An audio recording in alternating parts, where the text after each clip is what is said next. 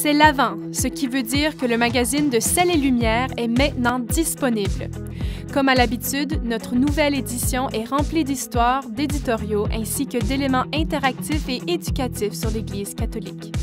C'est notre première édition qui traite uniquement des jeunes, alors que l'Église se prépare au Synode des évêques qui aura lieu en octobre 2018. Les articles qui s'y trouvent ont été écrits par les jeunes pour les jeunes. Et comme à l'habitude, vous pouvez lire le magazine en ligne et dès maintenant recevoir votre propre copie ou en commander pour votre paroisse et groupe particulier.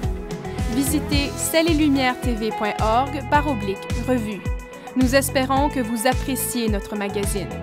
Suivez notre programmation pour le temps des fêtes sur la télévision Celle et Lumière ou en direct sur notre chaîne web. Merci de regarder et de lire Celle et Lumière.